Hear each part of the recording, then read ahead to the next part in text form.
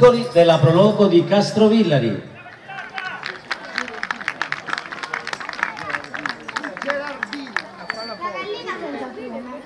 C'era una volta un marito ed una moglie che, a loro dire, si volevano molto bene.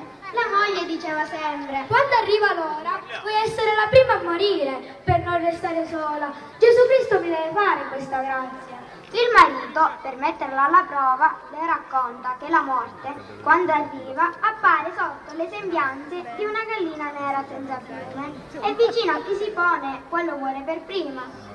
Una sera, mentre la moglie dorme, il marito fa appollaiare una gallina nera senza piume vicino al letto, dal lato dove dorme la moglie. Durante la notte la donna si sveglia per andare al bagno, si piega sotto il letto per tirare fuori l'orinale e vede la gallina appollaiata dal suo lato.